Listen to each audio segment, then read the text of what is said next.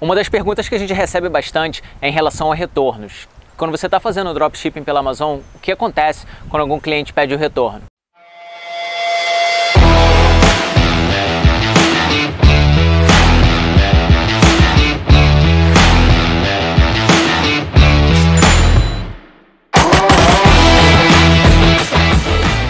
é relativamente simples. Você vendeu o produto pela Amazon, correto? Então o cliente vai receber aquele produto que você enviou. Quando ele quer retornar, ele vai entrar em contato contigo pela sua loja da Amazon. Quando ele pedir o retorno, você vai fazer exatamente a mesma coisa, só que no seu fornecedor. Você vai entrar em contato com o fornecedor e vai falar para ele que você quer retornar o produto. O seu fornecedor vai te dar uma etiqueta de retorno e você vai repassar essa etiqueta de retorno para o seu cliente. Assim, o cliente pode enviar diretamente da casa dele para o seu fornecedor, sem que você tenha que tocar ou ver o produto. Existem duas formas de fazer venda na Amazon.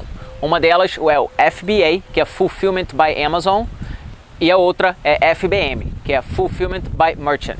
No Fulfillment by Amazon, que é o FBA, você tem que analisar produtos antes que eles vendam, porque você vai ter que comprar esse produto e enviá-los para o armazenamento da Amazon. Assim, a Amazon vai lidar com todo o processo de ordem, pós-ordem, atendimento ao cliente para aquela ordem do seu produto que está no armazenamento deles.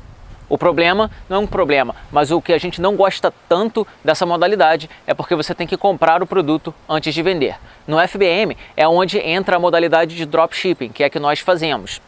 Dessa forma, você não precisa investir em estoque, você simplesmente coloca o produto à venda sem que você tenha comprado aquele produto, assim você tem menos risco. Então, quando o produto vende, você vai direto no seu fornecedor, faz a compra e envia para o seu cliente, sem que você tenha que investir nada em estoque. A forma que você faz para processar a ordem quando você está fazendo dropshipping é assim que você recebeu uma ordem ou fizer uma venda na sua loja, você vai no seu fornecedor e a única coisa que vai ser diferente quando você colocar a ordem no seu fornecedor, finge que você está colocando uma ordem para você mesmo, certo?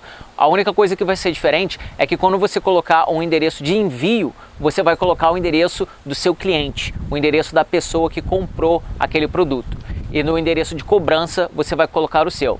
Então essa é a única diferença. Endereço do consumidor no endereço de envio e o seu endereço no endereço de cobrança. Assim, você é cobrado pela ordem, mas o seu fornecedor vai enviar, enviar o produto diretamente para o seu cliente.